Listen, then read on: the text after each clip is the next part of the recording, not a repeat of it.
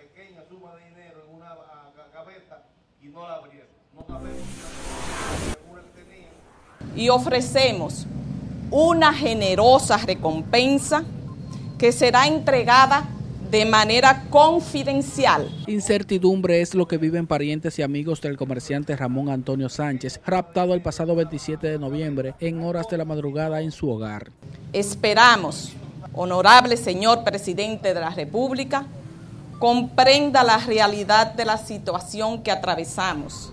Piden se haga una investigación abierta para ver si pueden dar con el señor de 85 años. En el sentido de que no haya límites en una ocasión se nos preguntaba a nosotros con relación a eso y nosotros le decíamos, es tan abierto lo que queremos que se realice que pueden empezar por mí, independientemente de las consecuencias.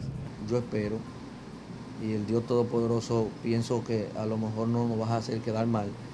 Eh, no nos queda mucho tiempo eh, para nosotros esclarecer la situación. Lo cierto es que, como ustedes sabrán, eh, todos los casos no son iguales. Y hemos tenido casos inclusive desaparecidos de años, que pretendemos que este no sea el caso. Estamos trabajando eh, arduamente con este, con este caso. Siguiendo con el tema, tres jóvenes que no fueron identificados fueron apresados mediante allanamientos realizados en Santiago que de acuerdo con las informaciones podrían estar implicados en la desaparición del comerciante raptado Ramón Antonio Sánchez conocido como Monzo en Villatrina. Los detenidos fueron trasladados al destacamento de Moca. Dentro de los allanamientos fueron ocupadas varias evidencias que el Ministerio Público estudia.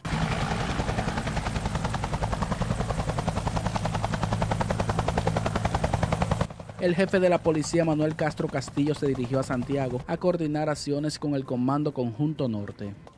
Eh, vamos a hacer una coordinación conjunta para que la Fuerza Unificada también aquí en la ciudad de Santiago de los Caballeros pueda eh, sentirse un efecto positivo y que todos los residentes del Cibao Central puedan pasar un día 31, un, año nuevo, en paz y en tranquilidad.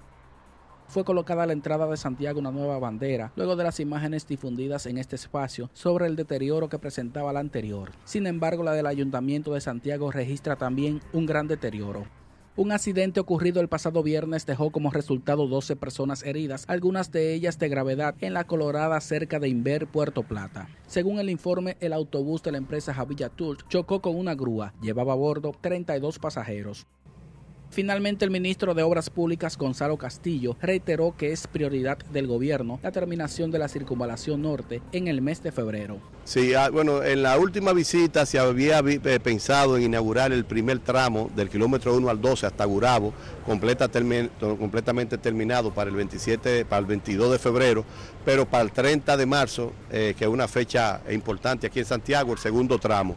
Pero estamos tratando y estamos reorganizando el cronograma de trabajo de forma tal que pueda ser entregada la vía completa para el 22 de febrero.